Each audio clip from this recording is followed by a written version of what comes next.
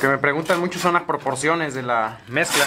De la mezcla, la proporción de la mezcla, este, pues a un bulto de cal se le pone, dependiendo de la arena, el gruesor de la arena. Hay arena muy delgada, se le ponen a 4 a 5 botes por bulto de cal.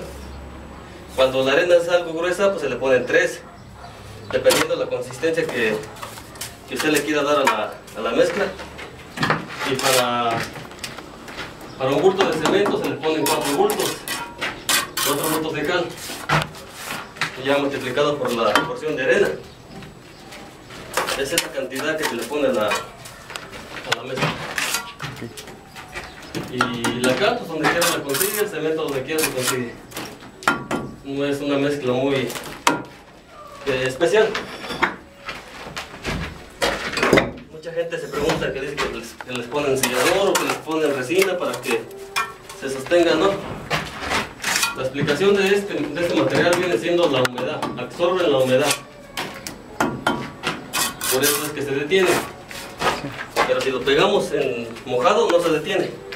Pues el ladrillo va seco. El ladrillo va seco. Y si lo ponemos este, mojado, no se alcanza a detener. No absorbe nada. Por lo contrario, pues se viene para abajo. Y otra explicación bien muy lógica de la bóveda. No se cae porque viene siendo en curva, un arco. Es un arco. Si yo le pierdo la vuelta al arco, se me viene hacia abajo. Pero mientras tenga vuelta, no se cae.